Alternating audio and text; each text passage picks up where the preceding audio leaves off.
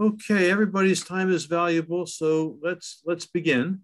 Uh, my name is uh, Joseph Gerson, uh, and I'm um, privileged to be welcoming uh, participants on this call and our speakers on behalf of the Campaign for Peace, Disarmament, and Common Security, uh, the International Peace Bureau, and the Massachusetts uh, Peace Action, all of which I, I, I work quite closely with. I want to appreciate the willingness of our speakers uh, to be speaking today, uh, despite what I know are, are, very serious differences among them and the challenges that we face in, in, this, in this time. This webinar was initially conceived and our speakers committed to join before Russia's invasion of Ukraine, when there remained hope that diplomacy and popular actions could prevent a war and lead to negotiations that would honor commitments made in, in the early 1990s.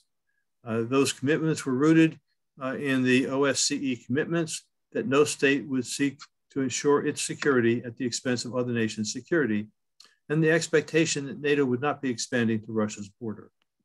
Weeks ago, there was the possibility that declaring a moratorium on new NATO memberships, building on the Minsk agreements to create a neutral and federated Ukrainian state, and negotiations for a new European security architecture could resolve the increasingly dangerous tensions.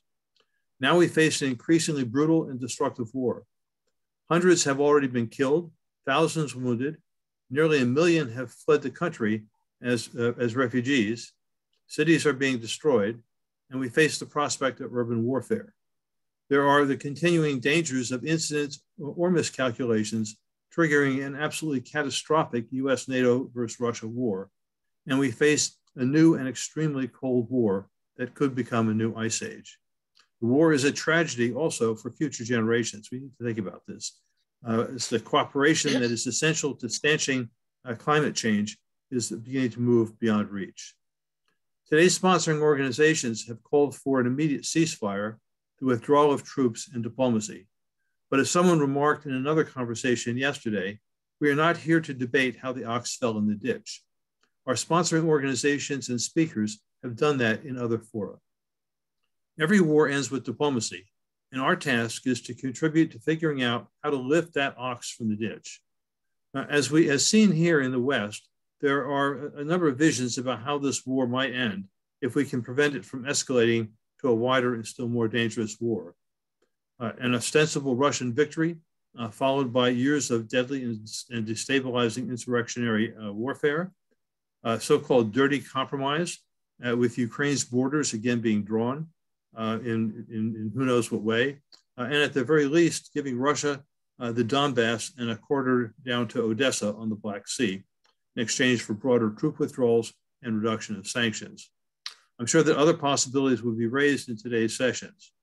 In these circumstances, one of our responsibilities is simply to keep lines of communication open and to keep exploring what can be done to, to stop the killing and build the peace.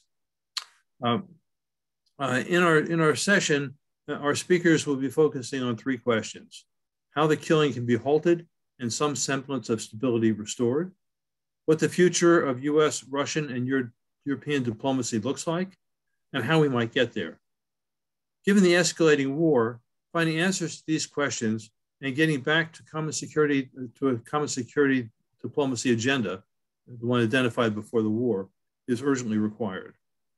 Before turning to introduce our speakers, let me say that each speaker will have between 12 and 15 minutes to make their comments. This will be followed by our question and answer period. To post your question, please use the Q&A button at the center uh, in the bottom of your screen. I'll do my very best to ask as many of the, those questions as we can get to, and certainly a, a representative sampling. Let me then introduce our speakers in the order that they will be speaking. Tarja Cronberg is a distinguished associate fellow uh, with, uh, the, with SIPRI, Stockholm International Peace Research Institute's European Security Program. She has a long record of activities as an academic in security and peace studies, and also as a politician in foreign and security policy. Her special focus is on nonproliferation and nuclear disarmament. Most recently, as a member of the European Parliament's Foreign Affairs Committee and Subcommittee on Security and Defense, Tarja uh, worked with, with the Iran nuclear issue as the chair of, of the EP's delegation uh, for relations with Iran. In December 2013, she led the first official delegation in six years um, of the EP to, to Iran. And her most recent book is Renegotiating the Nuclear Order. Alexey Gromyko is director of the Institute of Europe and a corresponding member of the Russian Academy of Sciences in Moscow. He is a professor uh, uh, at the Russian Academy of Sciences. He's an associate researcher at Ruskin College and associate visitor at St. Uh, Anthony's College at, at, at Oxford.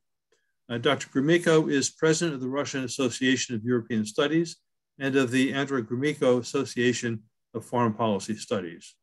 He is a corresponding member of the Russian Academy of Sciences, Russian International Affairs Council, a member of the Research Council for the Minister of Foreign Affairs of Russia.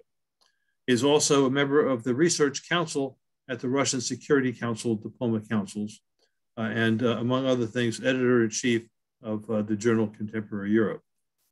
Uh, Daryl Kimball has, for more than two decades, uh, led the Arms Control Association as the organization's education, research, and policy advocacy uh, campaigns on a range of issues. These have included cancellation of the new nuclear weapons programs, negotiation and ratification of the 2010 New START Agreement, opposition to the controversial US India Nuclear Cooperation Agreement, uh, the conclusion of the 2015 uh, P5 plus one JCPO, uh, JCPOA nuclear deal with Iran, uh, efforts to promote entry into force of the comprehensive test ban, uh, uh, to strengthen the implementation of the Nuclear Non-Proliferation Treaty, and to reinforce the taboo against the use of chemical weapons. Daryl is a frequent expert source for reporters and policymakers. I saw him on television yesterday. and he has written and spoken extensively about nuclear arms control, disarmament, uh, nonproliferation, uh, and the effects of nuclear weapons production, testing, and use. In 2011, the MacArthur Foundation recognized the Arms Control Association as an exceptional organization uh, that effectively addresses pressing national and international challenges. Uh, that certainly qualifies for where we are today. So with that, I'm going to give the floor to Tarja, and thank you again so much for joining us. Thank you, Joseph, and, and thanks for inviting me. I will concentrate on your second question, on the question of uh, diplomacy and, and particularly the European diplomacy, and, and leave the other two questions more to be answered in, in passing. I think for the Europeans, it was a shock to, to suddenly be in the middle, middle of a war in Europe again. After 70 years of social and cultural relations, in a community that suddenly wakes up to tanks and in the neighborhood and a confrontation with Russia. And I think this confrontation is, is if, it is of course about Ukraine, but it is also and maybe mostly about European security architecture, the relationship between NATO and the other countries, the EU and NATO and so forth. And I would like to begin with a, uh, short uh, note on my work as a regional manager in the North Karelia on the Finnish-Russian border in 2000. I organized a seminar where the only question was, where does Europe end and where are European borders? And the question was about, is it the EU external border? Is it the Urals, the geographic border, or even the Russian border in, in the Far East? And it was interesting that there was one high official from the EU who actually said that if you want to uh, understand and um, understand uh, European borders, you have to watch Ukraine. And I think now we are really watching Ukraine. Everybody is, and, and, and it, it is here that we see some of the new borders being drawn. After the Cold War, there was in Europe an opening, which I would like to refer to. It was called Europe Without Divides. I worked together with other people in the European external border, the Finnish-Russian border, with cross-border activities, with soft borders, with regional cooperation, what, what we call the regional communities across the border. We established the Euro, Euro, Euro area, Karelia, and, and, and so forth. And, and this was also funded by Interreg and TACIS. And uh, the idea was common security. How do we understand each other? How do we work together? How do we have a continuous dialogue? And what happened two days ago? Nobody, nobody can meet anymore. No persons are allowed to go across the border. There are no meetings anymore. What happened every day is now uh, cut out. And maybe the sort of the outside indicator of what's happening is that the Finnish alcohol monopoly, Alko, has just removed Russian vodka from its shelves. So it's maybe the ultimate. So many things are changing overnight. Some experts claim that everything is changing. And I would like to start with my own country, refer to Germany and, and then the European Union as a whole. What is actually changing? A month ago, there was a Gallup in, in Finland about interest in NATO membership. And 25, 28% of the Finns were interested in membership, while the majority, over 50%, did not uh, consider NATO membership for Finland. Two days ago, the first day of, of the Ukrainian uh, attack, uh, there was a new Gallup, which turns out that today the majority of Finns, 43, 53%, would like to join NATO, and 28% only are against. So the numbers have actually turned in the opposite. And I think if you, if you think that uh, uh, the idea of, of, the Russian attack is to limit, limit the impact of NATO on the Russian, Russian borders, this is of course not a very good result. Another example is the Chancellor of Germany in a recent, a recent speech made a radical change of, of, in Germany's defense posture. A country that had been opposed to militarization given its experience from the war, he tripled the uh, German defense budget in just a few moments. And, and as a third example, in the EU, there's a common position say, saying that you don't transfer weapons to, uh, to countries in war. And, and that this is uh, signed by all the European member states. And today, most states are actually transferring weapons to Ukraine, Finland and Germany among them, which have been the most reluctant. So the conclusion, my first conclusion is that Europe is being militarized overnight. And the question is, how does this affect the way forward? And what is the role of the civil society? So here I think the primary role in, in order to counter militarism would be to push for concepts like common security, soft borders, the kind of cross-border activities we were carrying on, on the Finnish-Russian border. And, and uh, common security in effect is the incarnation of Europe also, of its membership states after the war building, building on steel and coal union, a dialogue and common understanding emerged, creating the foundations for security based on economic social and cultural ties. So in my view, the current debate, and I think this is uh, arose to Joseph and his colleagues who are working with the Olof Palme defined common security and, and actually taking it up as countering the militarization that's today taking place. My second question is about the security architecture of Europe, or rather the security architecture, in this case of, of the EU, since there's um, great changes coming and uh, EU is in a way at crossroads. The e expressed goal for EU security is to become an international security provider, whatever this means, and what kind of security provider, how does the conflict of Ukraine affect these policy choices? in 2016, EU approved a common uh, global strategy, which was based on strategic autonomy for Europe.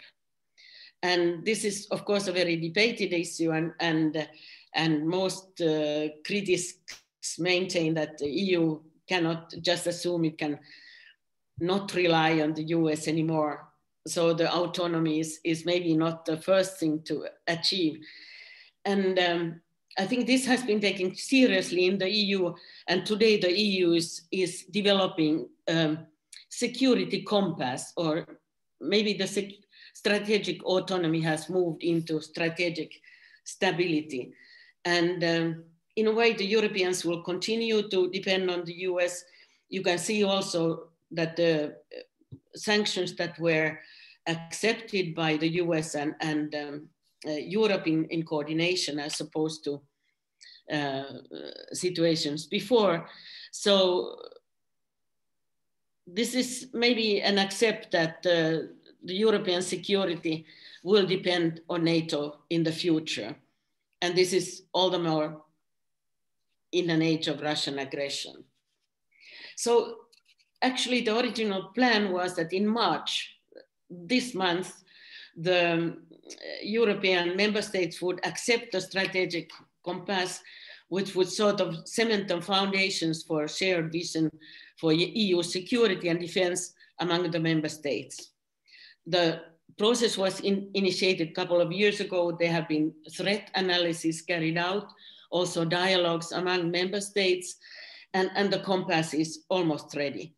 And it's, its goals are to operationalize the EU strategic autonomy to better link EU strategic operational capability needs. Actually, a question of, of self-interest and, and militarization.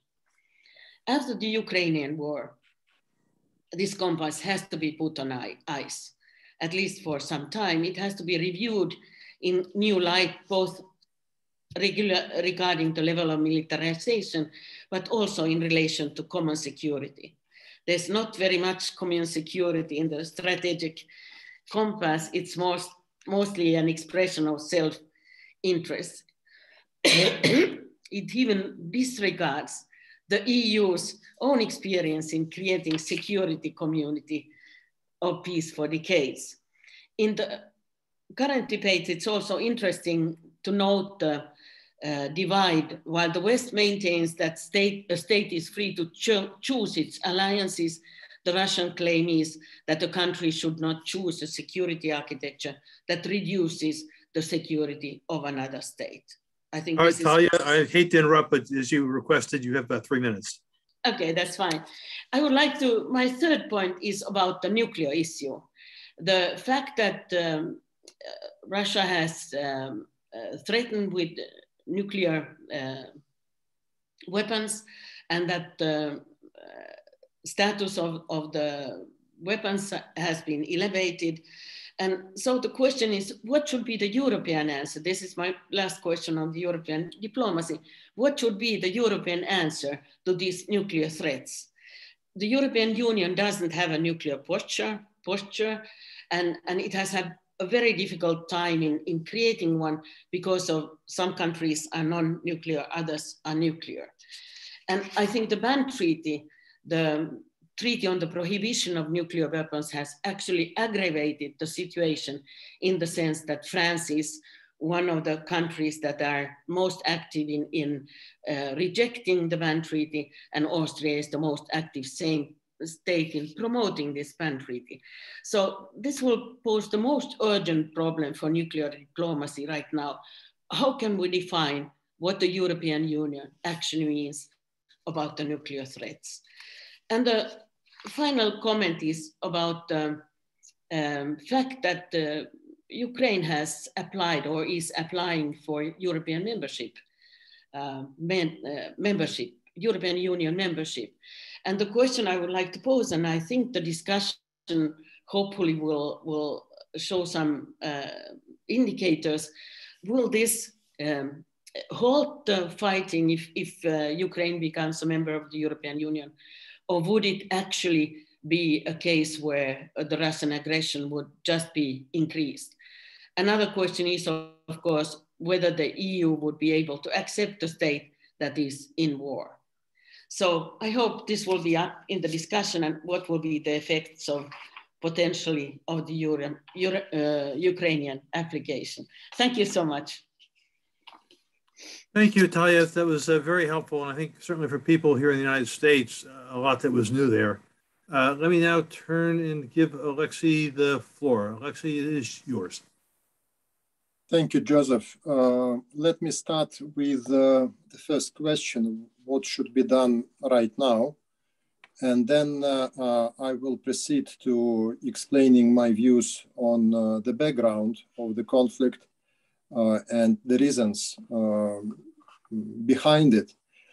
these days, um, well, these weeks, days and hours, quite a significant group of Russian European and uh, American specialists uh, is working on uh, a statement dedicated to the end of hostilities and to a peace process in Ukraine and in Donbass. Um, let me briefly share with you my uh, own views uh, on how it uh, can be done.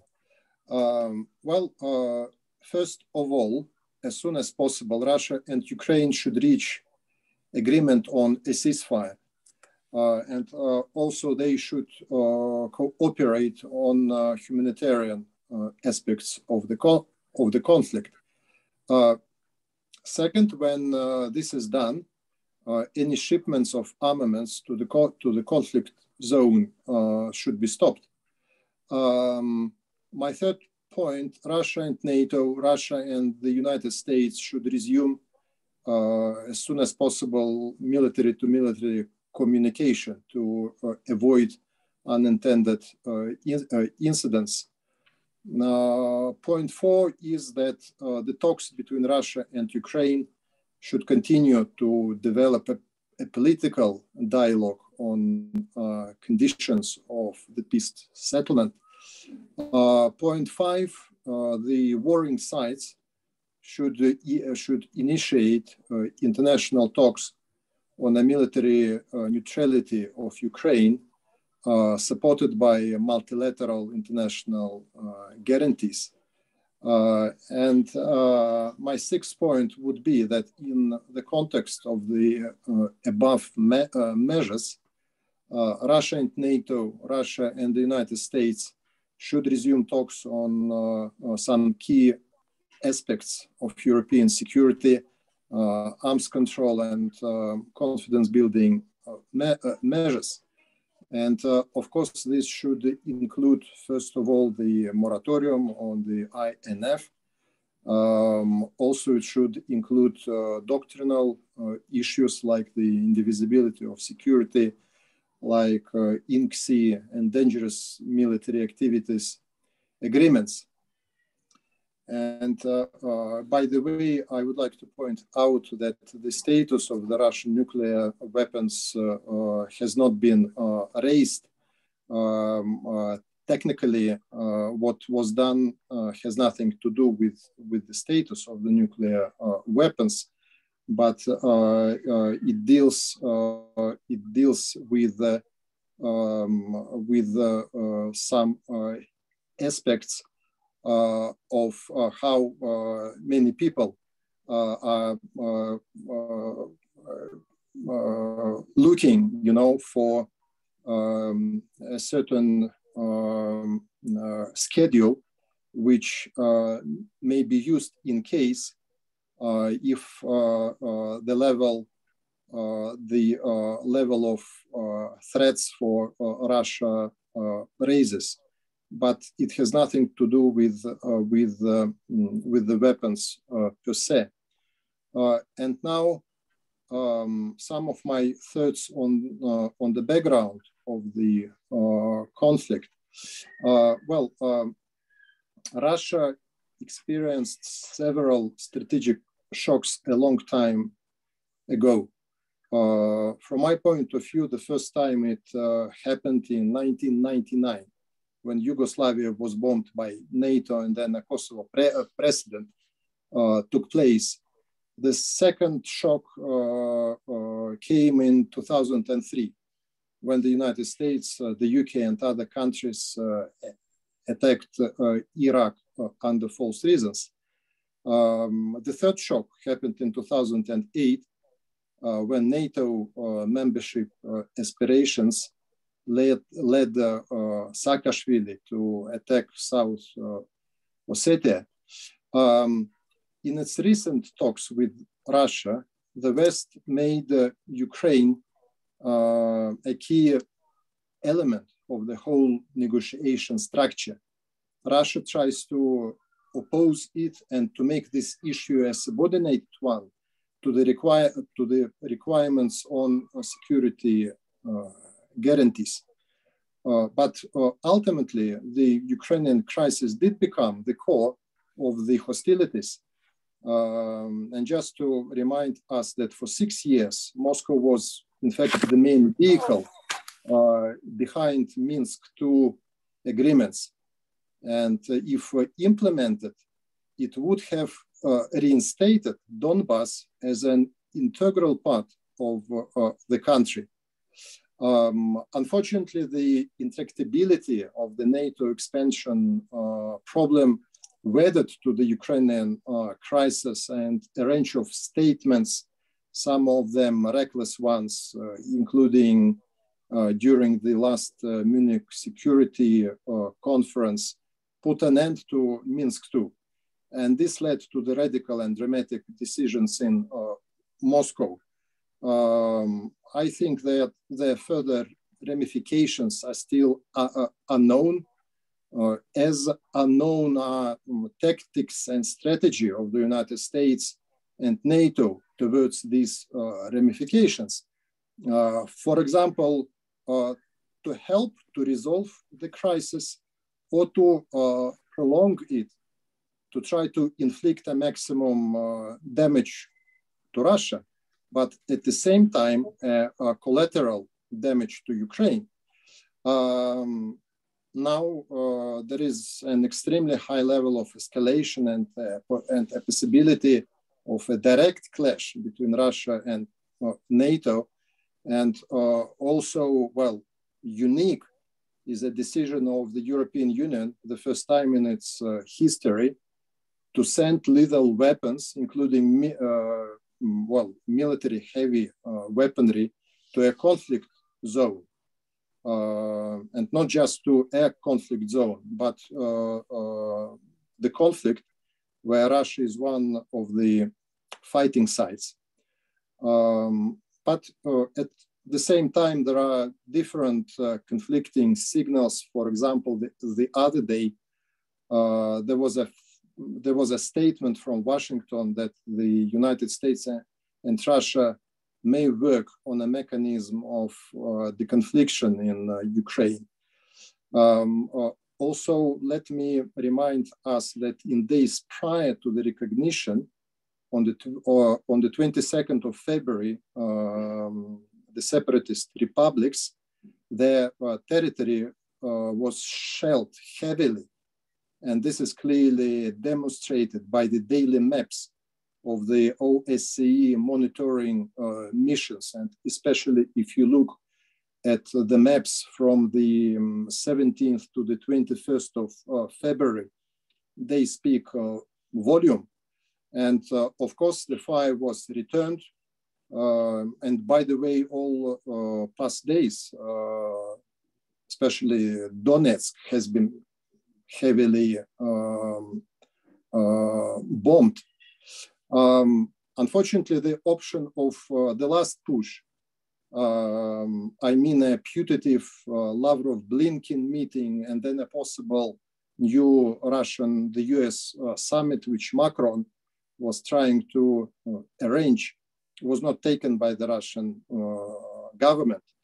And of course, the recognition, not to mention the military uh, operation in wider Ukraine, was and is a big risk with several uh, unknowns. But the Kremlin is adamant that the risks to Russia's national security are much greater if Ukraine is not barred forever from NATO, is not demilitarized, and expansion of NATO is not stopped completely in Eastern uh, in eastern uh, direction. And from my point of view, to some uh, extent, uh, until recently, we had on our hands well, a new Cuban crisis in the making but this time a Cuban crisis in reverse. In other words, uh, the perception of the existential threat on the borders of Russia, not uh, on the borders of the United States, uh, as it was in 1962. And there is a view uh, that Moscow decided to act uh, military uh, precisely in order to preclude such, such chain of events from developing rather than wait until a military clash is guaranteed, not only between Russia and uh, um, Ukraine, but between Russia and, Na and uh, NATO. Uh, well, in a situation like this, uh, um, this is my view, it is uh, almost certain that no amount of sanctions against Russia will play any uh, role in changing its foreign uh, and security uh, policy. there is the opinion poll from the 27th of February. It shows that 68% of the population supports the campaign and the, and the significant number, 22%, um, oppose it. And by the way, uh, only 6% uh, support a, re a, regime change in Ukraine and only 4% uh, support uh, a separation of Ukraine. So these uh, percents are meager. Uh, well, just to summarize, recently the first round of talks between Russia and Ukraine took place in uh, Belarus, and it is possible that uh, tonight a second meeting will take place. And yesterday, uh, several important statements were made in Moscow by the Kremlin. Uh, I would point out to a statement that uh, Zelensky is a legitimate president of, of Ukraine. Um, uh, and one more statement that Ukraine is a separate country which independently organizes its own presidential election. And uh, one more statement by Sergei uh, Shoigu, he pointed out that the defense of Russia, uh, I, I'm citing, uh, the defense of Russia uh, against a threat from the West is a key task of the whole special operation in uh, Ukraine, the end of quote. So my take is that this is, well, a reminder that Moscow looks at the current events in Ukraine in a broader European uh, context. So uh, hopefully uh, tonight a second round of talks between Russia and Ukraine will take place and, and hopefully it will bring us closer to, to a ceasefire and, and to a peace settlement. Thank you.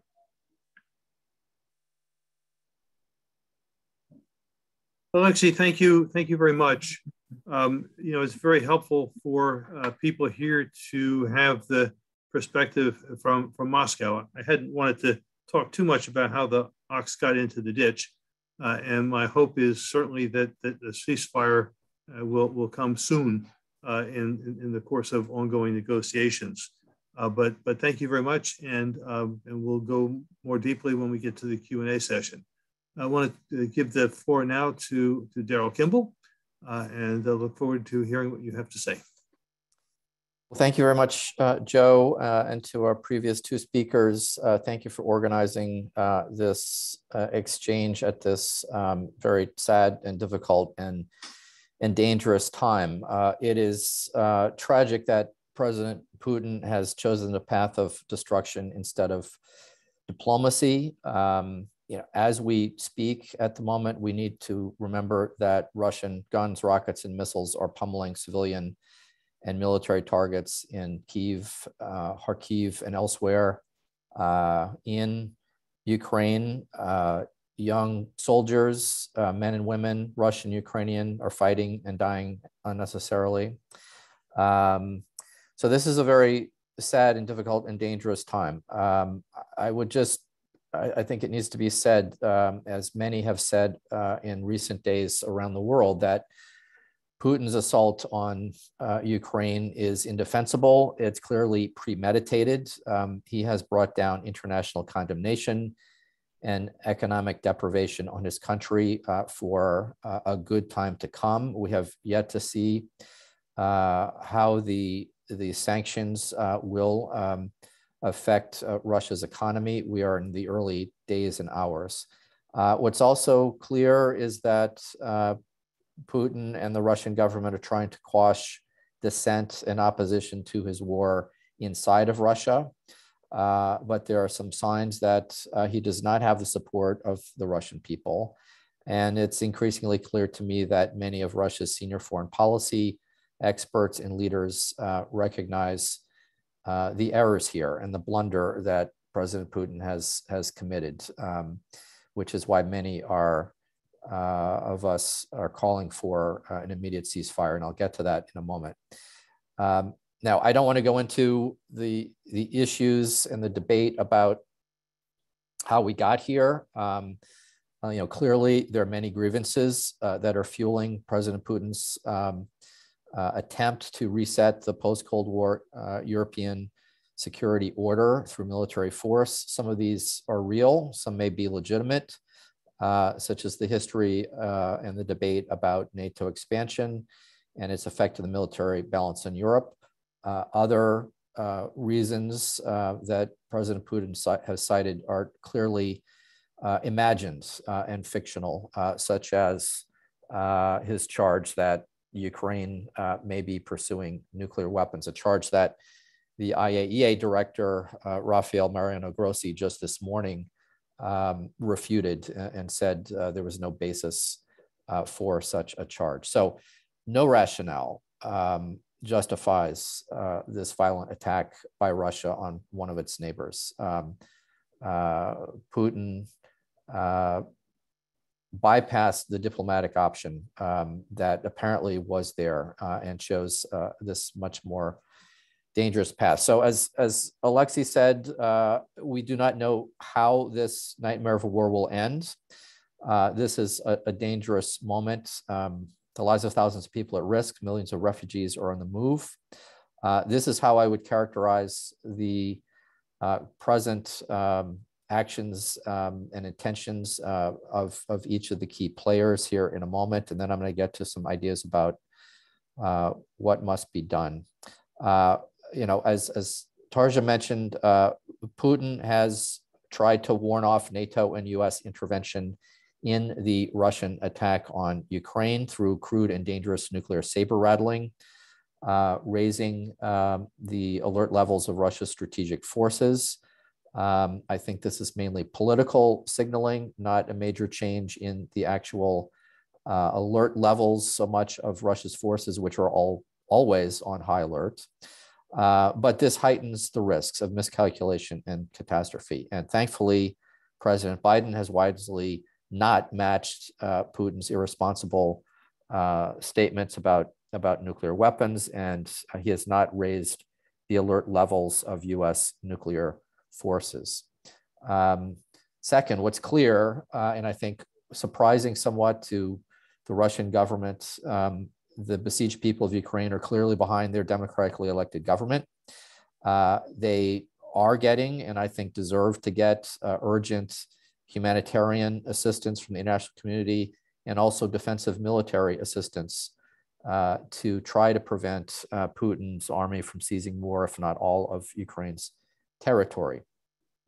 Um, the other thing that's quite clear is that um, you know, not only has the United States, Europe, the international community, even Switzerland delivered strong uh, sanctions against uh, key Russian institutions and leaders, uh, but uh, this has created the very, uh, it has reinforced the very concerns that President Putin was talking about before the conflict. Uh, a more united NATO, a more forward uh, NATO. We have uh, the realistic possibility now, which was sort of unthinkable just weeks ago, of additional states such as Finland and Sweden possibly uh, gaining NATO membership in the future.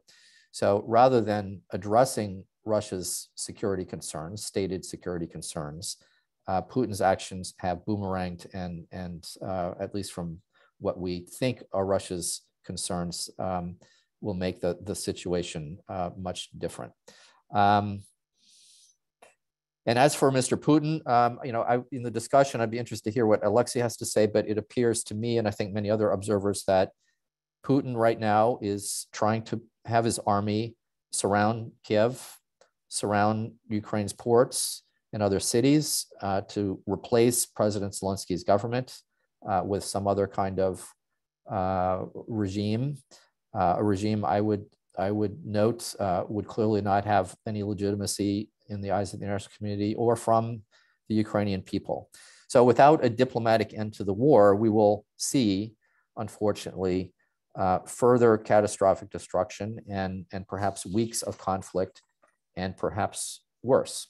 So where do we go from here? Or as Vladimir Lenin might have asked, um, this is from the title of one of his books, what is to be done? Uh, so number one, uh, we must all join together and demand a ceasefire uh, because clearly lasting diplomatic solutions are not possible um, without an end to the fighting and bombardment of Russia's forces. Uh, as Alexey noted, uh, a second day of talks may be underway between Russian and Ukrainian officials. Um, I have my doubts about any uh, successful outcomes, um, but um, stranger things have happened. Uh, what I think is important for everybody to reinforce is that what is necessary uh, is an immediate unconditional ceasefire, an agreement that no additional Russian or Belarusian forces shall enter Ukrainian territory or advance Ukraine's internationally recognized borders. Uh, and as part of that, they must allow for humanitarian and medical assistance uh, within uh, the conflict zone uh, to uh, Russian and Ukrainian forces, civilian and military. Also, an agreement to withdraw all Russian forces from Ukraine within an agreed short time frame and under international monitoring, probably by the Organization for Security and Cooperation in Europe, OSCE. And then an agreement uh, that the government of Russia and the government of Ukraine, with the support of and facilitation of other key states, will engage in negotiations to resolve outstanding disputes through political, not military solutions. Um, and I think until and unless these and probably additional actions are taken, uh, it is uh, quite unlikely that the uh, very uh, onerous uh, regime of sanctions, financial and otherwise, that uh, are now being put into motion will continue and that Russia will remain an international pariah state. Um, so those are, in my view, the immediate uh, steps that must be taken to uh, try to end the, the, the suffering that's going on and that will worsen in the days ahead.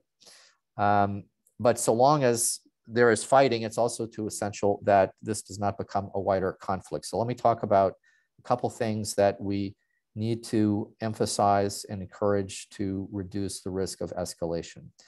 Um, you know, in the days and weeks ahead, leaders in Moscow, Washington, and Europe have to be careful to avoid new and destabilizing military deployments, offensive military deployments, and especially close encounters between Russian and NATO forces. As we speak, the airspace over Ukraine is highly contested. Uh, the sea lanes uh, in the Black Sea, the Baltic Sea, and elsewhere uh, are busy. Uh, there's a heightened risk of a military to military encounter uh, that leads to uh, the shoot down of an aircraft, deliberate or accidental.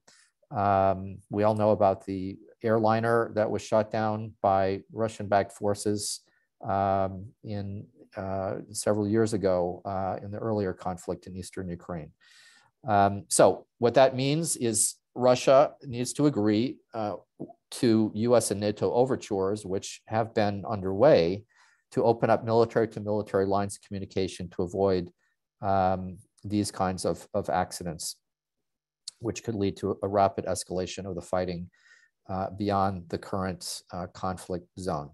Uh, it's also important that neither Russia nor NATO begin to or threaten to introduce new forms of offensive weapons that could threaten one another and undermine the common security. And I would cite, for example, uh, the rather egregious uh, and flagrant um, uh, offer from Russia's client state, Belarus, to host Russian tactical nuclear weapons uh, if NATO uh, were to consider the forward deployment of US tactical nuclear weapons uh, further east um, into Poland or the Baltic states, which is something that may very well be on the table after this uh, Russian uh, initiated conflict. And those kinds of steps would further undermine Russian and European security and increase the risk of nuclear war in the future. Uh, on, let me address very briefly post-war risk reduction uh, issues here. Um, you know, Putin's regime will and must suffer international isolation now, but eventually, uh, U.S. and Russian leaders must uh, seek to resume talks uh, on these stalled strategic uh, security dialogue. The U.S. and Russia uh, were engaged in just in the the months before this conflict broke out. Um, it was designed to address the very issues that President Putin and Russia had been talking about. It was an active, uh, engaged forum um, that needs to be revived uh, if and, and whenever the, the fighting uh, ends. Um, unfortunately, it's not clear to me at this point which of the many Russian concerns we should be paying the most attention to. Um, uh, and, and if we could find win-win solutions on a few of them, it's not clear which of them would uh, diffuse the, the uh, tensions and address the concerns that Russia has that might uh, fuel uh, future conflict. Um, you know, and I, I, say that because President Putin's more recent statements uh, suggest that he's not just worried about greater European security, but he is uh, thinking about reestablishing a greater Russia uh, by retaking Ukraine or putting in a government that is very friendly to Russia instead of an independent democratic one. So, however, if, if Russia's December 2021 proposals on security guarantees and arms control uh, are any guide, um, it, it might provide a more sober and straightforward indication of where Russia's genuine concerns might be. And if that's the case, uh, and if we look at the United States responses in January to those Russian proposals, I think there are some options for resolving mutual concerns, including agreements to scale back large military exercises, uh, to move back uh, from the, the frontier between Russia and NATO, uh, offensive strike forces that each side uh, may have or may have in the future uh, and particularly to prevent the deployment of uh, intermediate range missiles, ground launched cruise missiles, and ballistic missiles in Europe or Western Russia in the absence of the INF Treaty.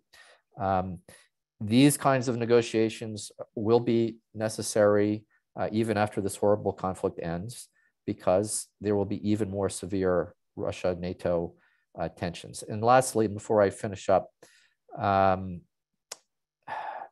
you know, after this, this war ends, we need to remember uh, that there is an urgent nuclear arms control and disarmament agenda uh, that has been put on the back burner uh, by President Putin uh, with this, um, this deadly war. Uh, Russia and the West, uh, in fact, Russia and the world, still have a common interest in striking agreements that further slash the bloated nuclear arsenals of the United States and Russia and other nuclear armed countries. As we sit here um, talking about this, uh, how to resolve this war, there's also the possibility of nuclear escalation. Uh, the United States and Russian presidents have the sole authority to launch uh, several hundred uh, nuclear weapons, probably about 800. Um, uh, that can take place within 20 minutes of a launch order, and there are several more hundred that are available for launch afterwards. Um, Daryl, I hate to interrupt. And I'm about to, I'm about to. I'm about to close up. And, and, and so there is an urgent agenda uh, on this front. Um, uh, and we have to remember that the last remaining agreement uh, between the two countries regulating their nuclear stockpiles, the new Strategic Arms Reduction Treaty, will expire in early 2026 unless the two sides negotiate a new agreement or agreements. So we can't lose sight of the fact, uh, no, no, matter where we are uh, in Russia, the United States, Europe, elsewhere around the world that we have a common enemy and it's war and especially nuclear war, and we need to work together to stop them. Thank you, thank you, Daryl. And we we covered a lot with uh, those those three talks. Um, uh, you know, there's some commonality. I, I, have to say that you know I, I remain deeply sobered by both the ongoing war in Ukraine and the dangers of, of escalation, as Alexey was talking about the possibility of a Cuban Missile Crisis in reverse. Um, pretty, uh, pretty sobering. Uh, so if people be patient with me, uh, I'm going to go to the Q&A uh, box here. Uh, last I saw, we had about 21 questions, uh, and we'll see what we can what we can do here. Um, the two questions from um, let me get it here um, from from Larry no from um, Lonigan. Let me find it here. Yeah, from Michael Lonigan. Um, one uh, was uh, what is the name uh, and origin of the EU agreement not to send arms to the conflict zone? And I think in another one, uh, is there a diplomatic path that doesn't require regime change uh, in Kiev or Moscow? So two questions. Maybe maybe to ask uh, Tarja to ask the first, uh, and then the second will be open to everybody. Yes, the EU states have agreed to what is called common position on uh, arms uh, export, and there's nine criteria in terms of that you should not uh, send uh, uh, weapons in, when a country is in war. You should not send weapons if, if there's a, a chance that the wars, uh, the weapons will be transmitted to a third country. There are uh, very clear criteria, and, and, all the countries who are members of the European Union have actually approved this. So it is the guidelines for for not increasing weapons in, in war areas, especially, and uh, this is where, for example, Finland had a, a discussion and, and just uh, the government decided that they are going to send weapons to Ukraine last night. And I think the same has happened in Germany and other countries. And it has not uh, led to any more consultations with, for example, uh, voting or, or something in the parliament the um, EU is also, like uh, Daryl was saying, is also sending some weapons to Ukraine. So this is kind of a solidarity uh, expression. Thank you for that, Tarja. So Daryl or Alexey, who wants to go first? Uh, Daryl, go ahead, Daryl. Well, is there a diplomatic path um, to ending the war that does not involve regime change? Yes. Um, there should be. Um, there's no reason why there should be a regime change in Ukraine. Um, this is a democratically elected government. Um, I'm glad Alexey pointed out that these recent statements, I had not seen them last night from Russia, acknowledging the independence of Ukraine and the legitimacy of President uh, Zelensky. Um, I do not foresee um, regime change in Russia. Uh, we're dealing with the leaders who um, are there now, and um, I'll leave it there.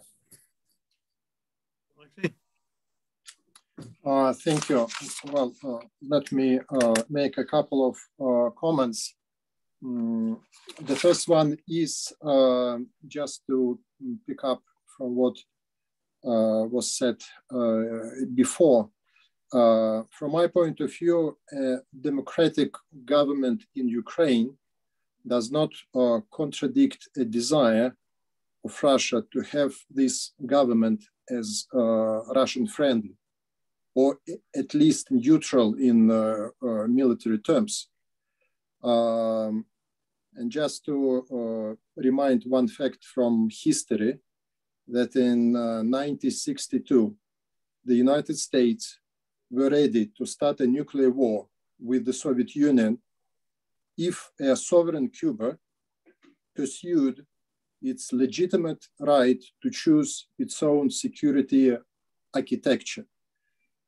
So uh, uh, when uh, I wrote recently and today mentioned this option of a Cuban crisis in reverse, this is something what for Russia these days looks like, you know, the same moment or experience which the United States uh, uh, felt or went through in 1962. Uh, because if Ukraine, for example, in five, 10 or 20 years time, becomes uh, a member of NATO, then uh, there is no uh, hurdles, no uh, obstacles uh, to put a, any kind of strike systems on the Ukrainian soil. So uh, this is uh, something what can be discussed and uh, debated, but I do not think that such kind of things uh, can be, you know, just uh, um, uh, just be, just banished as something um, Mm, something uh, hypothetical or something what does not worth to uh, to pay uh, attention to. and one more point Mm, um, uh, uh, I think that uh, it, it, was indeed reckless for Zelensky to said what he said at the Munich Security Conference, and that was uh, that was not a joke. And just let me um, quote him. Uh, so at, at Munich, uh, from my point of view, uh, Zelensky clearly hinted at the possibility to review the non-nuclear status of Ukraine. And let me quote him. You may recheck it. Uh, so uh, I quote, since 2014, Ukraine three times has tried to call consultations of the states uh, guarantors of the Budapest uh, memorandum. Today, Ukraine does it for the fourth time.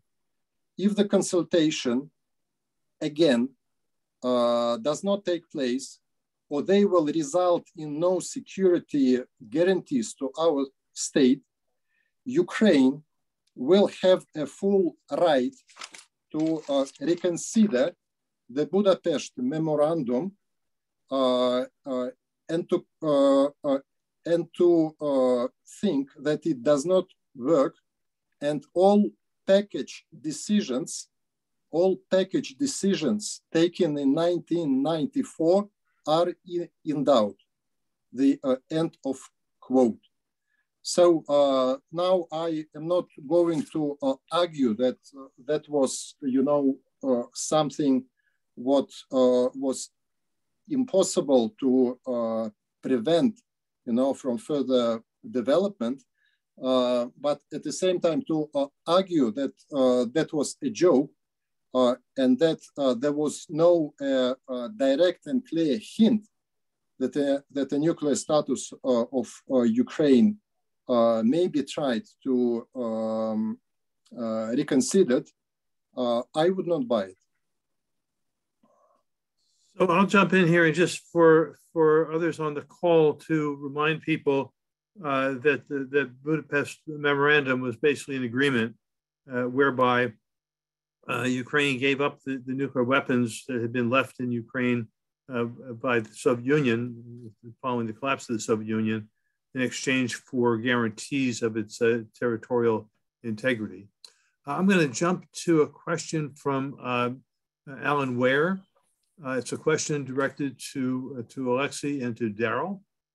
Uh, there are very different narratives from Russia and the West over NATO expansion, uh, the status of Crimea, and the status of the Donbass region.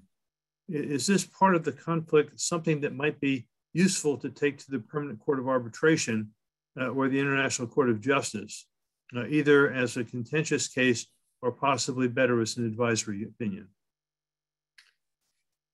Um, that's a good question. Um, I don't, I don't, I mean, I think that might be the, the logical thing to do, um, but I don't think in this circumstance, um, the ICJ is going to be able to resolve um, uh, this issue. It is fundamentally a political issue, um, even though there are legal uh, issues here. Um, so, you know, I mean, there's not a neat and tidy um, arbitration uh, solution, uh, in my in my opinion. Um, I, let me just very briefly, Joe, just come back. Um, I want to take issue with Alexey's uh, characterization of the current situation as being something akin to the uh, the Cuban Missile Crisis situation. Um, you know, the Russia has clearly violated the commitments it made, security commitments it made to Ukraine in 1994 in that Budapest memorandum. Um, Zelensky's comment at the, the Munich Security Conference uh, was a reminder to the international community that Russia had violated the commitments in 2014 when it uh, took over Ukrainian peninsula of Crimea. Uh, he was warning again. Um, and it is clear, Alexei, that Ukraine, you know, once had Soviet ICBMs, uh, Soviet warheads, but it does not have the capacity to produce uh, nuclear weapons indigenously uh, anytime in the coming years. Um, and Zelensky has made statements in more recent days reaffirming uh, its commitment, Ukraine's commitment to the NPT. Uh, in 1962, Russia put medium range missiles on Cuba uh, that threatened the United States. Uh, that changed the, the, the, nuclear equation in very significant ways. There's no equivalent uh, today.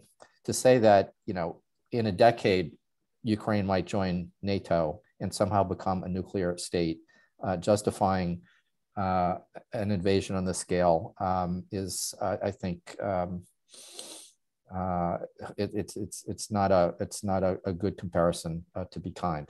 So let's let's deal with the realities here um, and uh, about how to resolve this issue rather than to try to create false equivalencies. Lexi. Well, I hold uh, different views on uh, equivalencies and other things. You know, to say that Ukraine in the coming year, uh, years is not uh, able to design a nuclear bomb, well, uh, this is uh, this is uh, uh, you know not a waterproof argument. Um, the uh, thing uh, is to make sure that not in the coming years, but in the coming uh, decades, um, a certain country cannot become a, a nuclear one and uh, Ukraine and even current uh, Ukraine uh, has a huge expertise in nuclear technologies. They've got a lot of nuclear reactors.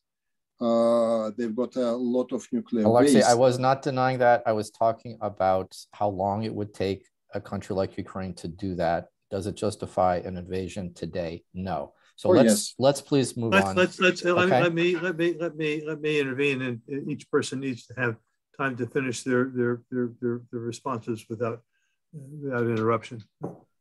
Uh, fine. Um, okay, then uh, the status of Crimea and the status of uh, Donbass. Well, from the Moscow's point of view, uh, the uh, issue of the status of Crimea uh, uh, is not the issue which can be debated or discussed. This is the integral territory of the country. and I might imagine that if we reach a level of multilateral set of agreements uh, which can uh, which can uh, secure um, uh, the future of uh, Russia, Ukraine, and wider Europe, then uh, certainly Crimea should be recognized by Ukraine as an integral part of Russia. as to Donbass, well, uh, uh, Russia has uh, recognized the two republics there uh, if other uh, countries, uh, Ukraine or whatever country you take, should or should not recognize them, this is up to them. This is not a part of the Russian territory. now their security will be provided in the near future. And uh, let's not uh, forget that since 2014, uh, twice Kiev tried to overrun Donbass with military force. There has been shell, shelling for seven years and thousands of people are killed. So this is not just a, a tragedy, uh, the uh, tragedy of uh, well of Ukraine per, per, se, but it has been a, a tragedy of uh, uh, Donbass, uh, and absolutely on the equal basis. And Crimea, well, you know, I am not sure if somebody in the West is going to reconsider the uh, status, for example, of, uh, of uh, Kosovo.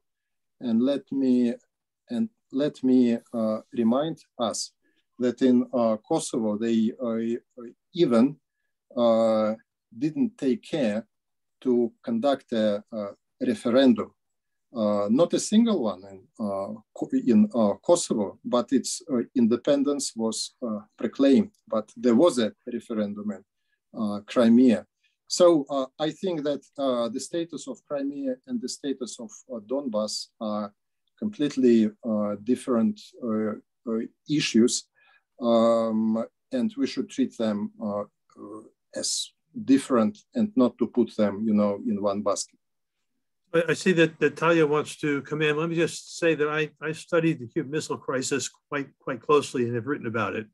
And one of the things to learn there were just a number of miscalculations uh, and uh, how, how close we came to an unintended uh, nuclear war. So I think that, you know, that, that, that should sober us. And my sense is that, uh, you know, some of the, some of the historical uh, background to this, on the one hand, obviously needs to be considered as we try to figure out diplomatic paths forward, uh, but also recognizing that some of this is going to be debated for decades to come. Uh, and and the, the, the, the, priority for us now uh, is, I, I, believe, to, to uh, get to that ceasefire and to those negotiations. Tarja, I want to give you the, the floor, please. Unmute. Just a very short comment on the Budapest memorandum, since it's so decisive here. First of all, it was about Ukraine moving its uh, nuclear weapons to, to Russia, signing NPT and so forth. And three states guaranteed Ukraine's um, borders. It was Russia, uh, the UK, and the US, and it was a collective responsibility. And uh, Russia, of course, uh, was the aggressive and, and, and did change the borders. But the not changing the borders was also a responsibility for the US and the UK. And when asked about this, both countries said that the guarantees that were given into, in, the, in the Budapest memorandum were not legal. They were not uh, legal enough, and, and that Ukraine actually had been deceived in a sense. And I don't want to continue this discussion, but just to say that this is one the fate of the Budapest Memorandum is one of the things that actually undermines the credibility of nuclear disarmament in the sense that there are guarantees which are not legal, they can be taken back retroactively, and no one seems to care. Thank you. So uh, I want to actually direct the next question to, to Tarja um, with a, with a um, a sense of humility here about the whiteness of, of all of us uh, in, uh, who, are speaking here. Uh, but a, a, question from Ayman Fadel. Uh, other than the threat of global nuclear catastrophe brought on by this conflict among Europeans, what lessons should non-European peoples of the world draw? Well, uh, yes. I think first of all, uh, one of the things that the Europeans have been facing here is a threat of nuclear weapons. And I think all countries should face the, the, the fact that nuclear weapons can be used as threats, Hopefully, they will not be used as weapons, but there's always, always the threat of, of a nuclear weapon use potentially. It's sort of built into the idea of deterrence in, in, in the nuclear order. So so you can never be sure. And as long as any country, we have nine countries in the world that today have nuclear weapons. So reducing and eliminating these weapons, and now we have also a, a UN treaty that actually prohibits uh, uh, nuclear weapons. So in this case, I think the best way is to eliminate nuclear weapons. The threat will always be there for anyone. Uh, Alexei or Daryl, do you want to comment? Well, let me just make a quick comment. Um, I think we saw several people, uh, several representatives uh, in the Security Council debate uh, before uh, Russia's um, incursion into Ukraine began, uh, make the point that for states outside of Europe, uh, you know, Russia's rationale for um, these actions um, are reminiscent of the uh, colonial uh, mentality that um, many of those countries have experienced. Uh, the Kenyan representative mentioned that um, countries in Africa have learned uh, not to uh, try to redefine the arbitrary borders that were established by the colonial powers um, decades ago. Uh, and to uh, try to align it so that it is more uh, favorable to certain uh, racial or ethnic groupings. Um, so, you know, I think that's one other um, lesson that other countries around the world are drawing, and one other reason why they are uh, offended by um, what is happening um, in this conflict. Alexei, you want to comment? Oh, yes. Uh, well, uh, very shortly, uh, you know, uh, all the discussions on the Budapest uh, memorandum are very uh, complex one. When you try to make them simple, this uh, does not work. You know, and specialists know that the Budapest uh, memorandum was not ratified, that it was not a legally binding uh, guarantee, uh, and uh, uh, I think a very important point that uh, Russia considers the change of power in Kiev in February 2014 as a coup d'etat. The legitimacy of the government of the state was undermined. So there are a lot of things which uh, can be uh, disputed, and I do not think that we should uh, pretend that uh, this is black and white uh, situation. I think that other regions and countries which are not situated in Europe, for example, can draw a, a, conclusion from what is going on here that that legitimate um, national interests uh, in the sphere of security should not be uh, neglected. Uh, if a certain country for 30 years is saying from year to year that an expansion of a certain military bloc um, threatens its national fundamental uh, uh, security interests, uh, somebody should listen. Um, and, uh, you know, there are hundreds of documents. They are uh, available. They are declassified. How starting from 1990, uh, this, uh, quite a few people in the Soviet leadership, and then even Kozyrev and Yeltsin were trying once and again to stop the uh, expansion of uh, uh, NATO uh, this is not the justification of, uh, of uh, whatever is being done, but we should we should know the history, and we should we we should know that what is going on this day is not just from the blue. but it is rooted in you know years and decades when certain fundamental and undercurrent re reasons um, were evolving. And one more thing, um, on the uh, colonial struggle and uh, uh, anti-colonial colonialism, let me remind us that the Soviet U Union, in fact, was the main supporter of the anti-colonial struggle in the 50s, in the 60s, in the 70s, when the the West was calling Nelson Mandela uh, a terrorist, for example, Margaret Thatcher was fond of calling Nelson Mandela a terrorist. the uh, Soviet uh, Union treated him uh, as a, a, friend.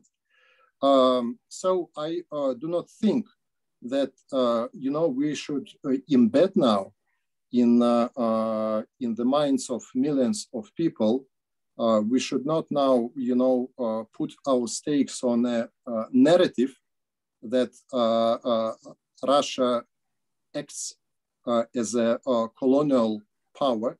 By the way, there, there is a clear position these days that Russian troops uh, will be withdrawn from Ukraine when the peace uh, settlement is uh, reached uh, it was said now many times that uh, uh, Russia does not have any plans for any territories of Ukraine. of course, Crimea is an integral part of Russia. and the two Donbas republics are recognized by Uh, uh, Russia as uh, independent. Uh, and uh, just to uh, remark that for seven years, that was Russia who was, uh, which was pushing the Minsk II process, not Kiev, and unfortunately not Paris or Berlin. So I think that from this point of view, there were certain and very significant uh, reasons for, for Moscow to uh, change its view, to change its stance. But, met, but let me repeat myself that the decisions which were taken uh, are very risky and uh, uh, the history will tell if it was a blunder or not. Uh, but these days, from my point of view, what is important is not so much uh, soul uh, searching, uh, but um, but a hard work to to um, introduce the ceasefire as soon as possible uh, to uh, make uh, whatever is necessary and possible to support the contacts, the talks which have started between Ukraine and Russia. I know many people uh, uh, in many uh, countries, which in fact do, do not want these talks to succeed. Um, but hopefully the majority of those in the political circles and in diplomatic uh, uh, service, uh, most of them want a, a, success in putting all the hostilities to to the end. So uh, I belong to those uh, who are working very hard, and Daryl uh, knows that, um, to, you know, on second tracks to promote this urgency of stopping uh, the uh, hostilities, of stopping uh, the fighting, and as soon as possible to proceed with peaceful solution. So I'm I'm noting here that, that Daryl has put in the chat a uh, link to a resource on the Budapest uh, me memorandum, um, and uh, I'm trying to keep track of, of what we've got here. We've got you know a mere 45 questions and about uh, seven minutes to go. so um, I, am I'm, I'm sorry about that. Uh, is one question here from Tim Takaro. Um, can we, excuse me on the pronunciation of your last name, Uh, where can we find corroboration of Alexei's statement that yesterday the Kremlin recognized the sovereignty of Ukraine and its current president?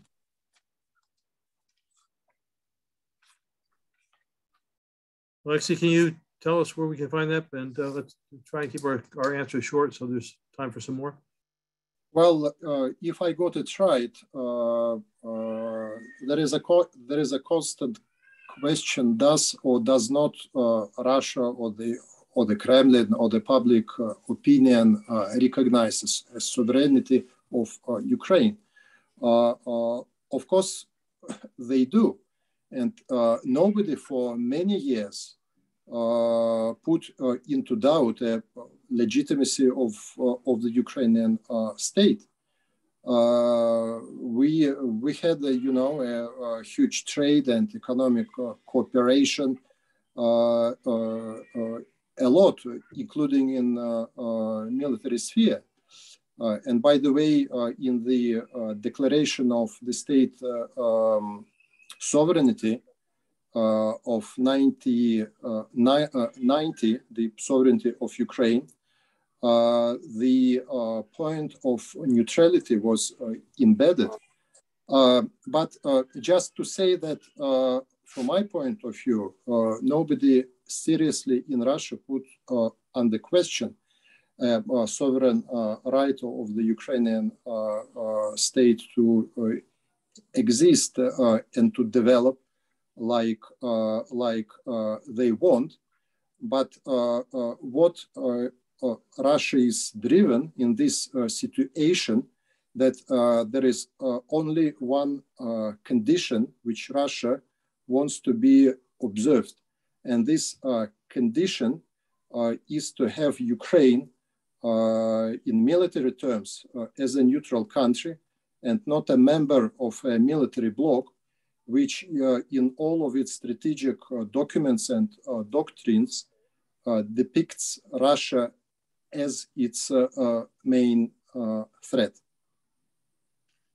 Thank you for that. Um, you know, you know, the conversation is sobering and helps us to understand uh, how much there is to uh, overcome uh, if we're to um, come to a, a, a, negotiated resolution of the of the multiple levels of conflict. Uh, Claire Schaefer, we, we don't have much time, and Claire Schaefer Duffy has asked what I think is maybe the most important question for us as we close, uh, which is what role can civil society play in urging a ceasefire? How can we aid track two diplomacy? Uh, and um, uh, maybe to start with uh, with Tarja, maybe go to Tarja, Daryl, and then uh, Alexei in, in, in answering.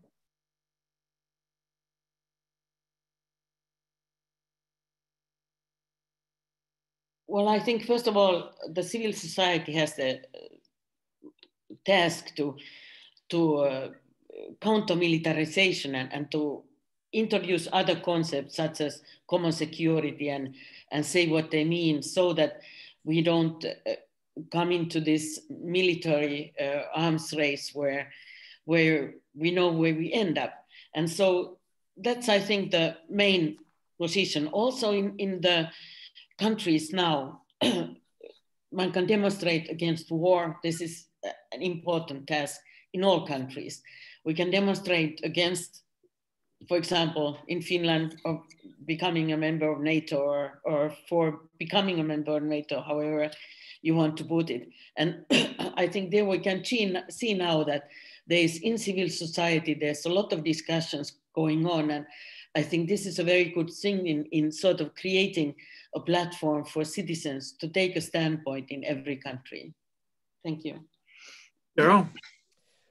Well, it's a great question. Um, look, I think quite simply, uh, you know, we need to recognize the situation is urgent. Uh, people are dying now. Um, the, the conflict could grow much worse in the hours and days ahead. So we need to raise our voices anywhere and, and everywhere uh, for an immediate end to the fighting and unconditional uh, ceasefire and withdrawal of Russian forces from Ukraine uh, with a call for uh, talks to resolve the remaining issues uh, through diplomacy. And I think here in uh, the United States and, and in Europe and around the world, um, we need to make that, that uh, clear. Um, we also need to lift up the voices of those in Russia who are trying to say the same thing, but who are uh, getting censored. Um, that would be my, my message for the immediate term. Um, and uh, there's much more that needs to be done over the longer term, uh, as I discussed. But the immediate concern is to, to end the, the, uh, the fighting and, and the possibility of, of further, further death and destruction. Alexei, with the exception of yours truly, you get the last word. Uh, well, uh, last year in uh, October, I went to Barcelona and I was privileged to take part in the Barcelona Peace uh, Con uh, Congress. Uh, and before I came there, I was very skeptical on the issue of the contemporary um, um, anti-war movement uh, uh, especially in uh, Europe, I was under the impression that it was almost non-existent. But in Barcelona, I saw dozens and hundreds of associations and um, uh, campaigns and uh, movements uh, which are quite strong and which are, are eager to to raise their voice against uh, militarization and uh, non-proliferation uh, and uh, the uh, banishing of, of nuclear weapons altogether. So uh, hopefully, in the coming years, the anti-war movement in Europe will get stronger because unfortunately, um, there is quite uh, quite um, a significant chance that now we are uh, entering uh, into quite a long period of uh, hostilities, of uh, animosity, which may uh, last for years, but which also may last for decades. For, so, from my point of view, for example, the initiative uh, Uh, of uh, the Common Security uh, Commission based on the principles on the principles of the Olof Palme Commission report, which was released back in uh, 1982, uh, are of extreme importance. So in Russia, there are hundreds of um, hundreds of scientists which still are involved in Pugwash uh, movement, in, uh, in, in other projects, uh, in many second tracks activities. the goal of which is to prevent further conflicts and to rebuild trust. So um, let's hope the, that uh, this kind of aspirations will uh, prevail. Thank you, Alexei. I'm going to use the, um, the prerogative of the chair here to say a couple of, of things. Uh, first of all, I've just put into the uh, chat uh, the contact information uh, for um, initiative, an international initiative uh, for this Sunday, uh, calling for demonstrations around the world, urging an, an, end to the war, withdrawal, and diplomacy. so please, you can find a demonstration near you there uh, following what, what uh, Alexei was just saying, uh, this April, um, a new common security report uh, will be issued. Uh, it's a collaboration of the Olof Palme Foundation, um, International Peace Bureau, uh, and the International Trade Union Confederation, which has something like 200 million members worldwide. Um, I think it's important, especially as we move into this very challenging period, uh, and simply to say that um, my organization, the Campaign for Peace, Disarmament, and Common Security, uh, will be organizing uh, a, webinar and other other events to help uh, promote that and bring that uh, to, to, to people's attention. Finally, I just want to say that in some ways this has not been an easy webinar. the differences are quite deep. the killing is going on. Uh, and I and, and Alexei was simply just now pointing uh, to the dangers of what some have described as a possible ice age uh, beyond a Cold War coming. So I want to um, uh, encourage and the, value of keeping lines of communication open uh, despite our differences, uh, and to encourage all of us in civil society to do all that we can to work for for peace, for justice, uh, and uh, to, to stanch climate change, uh, Uh, which is uh, coming at us uh, minute by minute. Thank you all so much for the thought you gave in, in, in your presentations. and we look forward to working together with you and to everyone else who, who joined today's webinar. Thank you so much and peace. Thank you. Thank you very much. Thank you. Take care. All the best. Take care. Same.